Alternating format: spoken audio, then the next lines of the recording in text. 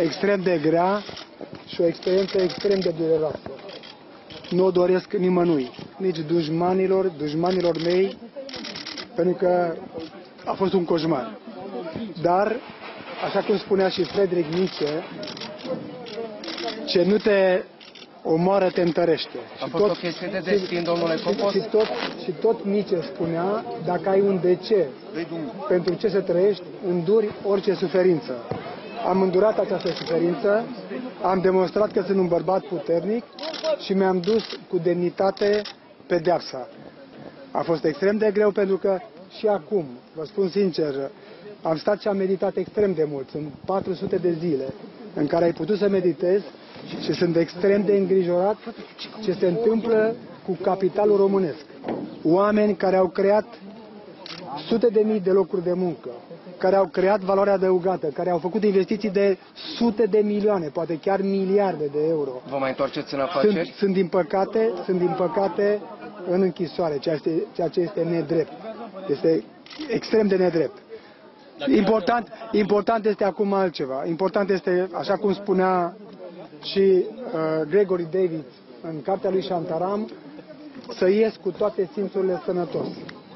Și cu trupul, și cu mintea, Și cum și ieșiți? cu sufletul, Ieșiți și cu sănătos? inima. Mă duc direct la spital să văd cum ies. Mă duc direct la spital. Ați avut Dar, probleme- V-ați ați gândit avut și la probleme rapid în perioada asta penitenciar? grea, domnule Copos? Ați avut probleme în penitenciar, domnule Copos? nu, vreau să vă spun, De sănătate, la, la de- această întrebare, vreau să vă spun ceva.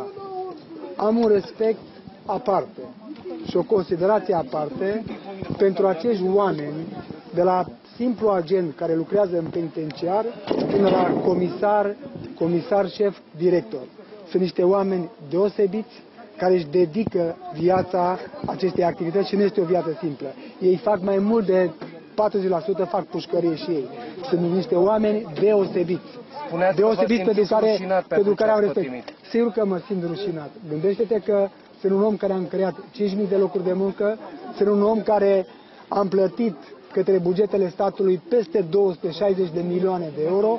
Sunt un om care am făcut în România peste 270 de milioane de euro investiții și nu vreau să spun altceva decât că eu am crezut enorm de mult în cea de-a patra, pu- cea de-a treia putere în stat, puterea judecătorească. Am crezut enorm de mult Mai și credeți vreau, în ea? și vreau să cred. Vreau să cred că trăiesc într-un stat de drept. Pentru că acum eu sunt extrem de îngrijorat ca ai mei copii, Alexandra care a stat 10 ani în Statele Unite ale Americii, care a făcut cele mai mari universități și masterate la Harvard și la Wharton, nu mai vrea să rămână în România.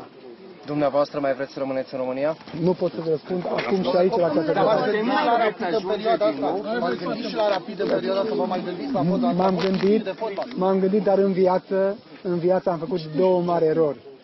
Enorm de mari. Am intrat în politică și am cheltuit 30 de milioane de euro la fotbal. A fost cele două mari erori ale mele. Nu vreau să Toate astea faceți rapidiștii toate vă de- regretă, domnule Copos. Toate acestea, deși ați fost înjurat de atâtea ori, rapidiștii spun că dumneavoastră ați adus performanța în juridic. Rapidiștii, rapidiștii sunt oameni unici. Chiar dacă am suferit enorm de mult, ei sunt, au rămas și vor rămâne oameni unici între toți suporterii care există în fotbal, fotbalul românesc. Mai Sunt vreți să oameni alături de ei? faceți, mai vreți să faceți parte din lumea fotbalului, domnule Copos? Haide, fișor, nu mai împinge. Hai, vă rugăm frumos, că vă rugăm frumos. Haide, vă vă rog, du-te mai acolo, ușor. Vă, vă, vă răspund la această întrebare. Știi ce înseamnă să stai, să stai 400 de zile și 400 de nopți să te gândești ca să treacă timpul? Nu faci altceva decât citești. Și atunci dacă citești și îți faci un program să citești, înseamnă totul pentru un om care este lipsit de libertate. E, Recunosc că aici, în, acest, în aceste 400 de zile, am citit când n-am citit în viața mea. Și am citit mari filozofi și, acest, și, a, și asta este extrem de important. Pentru că veți găsi în lucrările mele teme care n-au fost abordate de specialiști în domeniu.